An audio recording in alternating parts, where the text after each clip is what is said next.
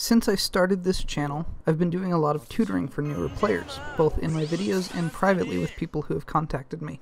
And given some of the recurring topics in these discussions, I've come up with these five pieces of advice that I feel comfortable giving to any new player. Number 5. Level Mash. I've mentioned her in nearly every video I've made thus far, and will most likely continue to do so. This game hands you one of the strongest units around, and then the majority of new players ignore her. I know she seems underwhelming at the beginning of the game, but trust me on this, stick with her. Level her and upgrade her skills whenever you're able. Her level cap, skills, and Noble Phantasm will all get improved as you complete story chapters. Her team-wide defensive utility is basically unmatched, and she can make your entire team extremely difficult to kill. So don't ignore her and leave her level 1, invest in her starting right away. Number 4. Start with your low rarity units. I understand the temptation here, I really do. This unit has 4 or 5 stars, so they must be better than the ones with 2 or 3, right? Well, in many situations no, especially so in the early game. The team cost mechanic means you can hardly even bring gold servants until you level up a fair bit.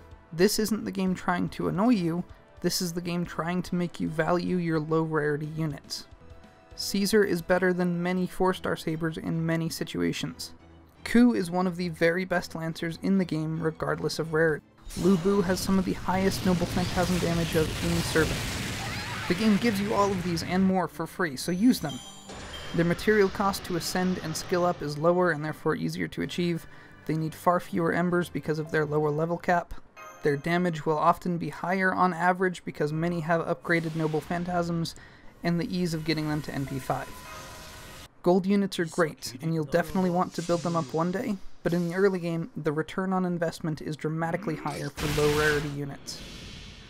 Number 3. Use class advantage and build a well-rounded roster. I often see new players saying something to the effect of, I want to build my team around, or my team is composed of these couple servants, is that any good? That this game gives you 10 team slots right away with no unlocking required is not just a funny coincidence. The class advantage system is extremely important in this game. A servant on the right side of the class advantage equation will not only deal more damage, but will receive less damage as well. This means that a servant with class advantage is getting both a defensive and offensive buff at all times during a battle. When enemies look like this, this isn't a huge deal, but eventually you'll be fighting regular mobs with 5 or 6 digits of HP, and in those situations you'll want to be hitting as hard and taking as little damage as possible. So throwing all your embers at one saber means you'll have no trouble with lancers, but means you're far from optimal most of the rest of the time, and especially not against archers. So spread your resources out and make sure you've got at least one viable option regardless of the kind of enemy you're fighting. Side note, one really strong Berserker is not necessarily the best answer to this conundrum, but we'll talk about them in the next video.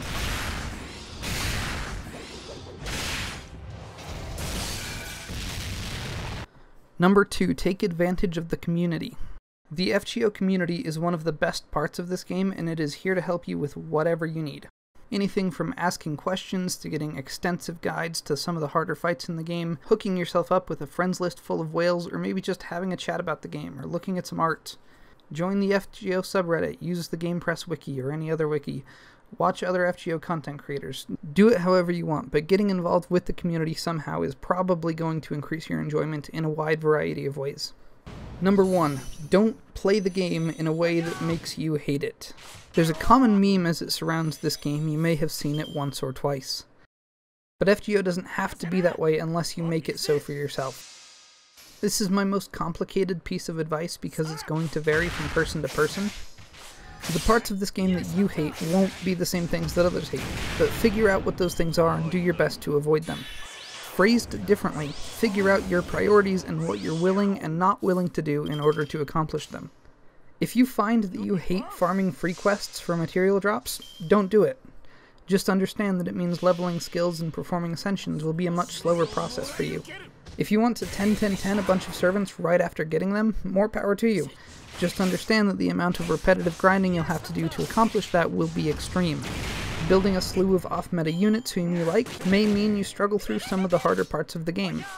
Building every team with a strict adherence to the meta may mean you have to avoid using units you enjoy more. What I'm saying is that everything in this game has a trade-off, and I see people driving themselves crazy trying to get the best of both worlds and finding out that doing so is impossible. So understand your priorities and what you'll need to trade off in order to accomplish them.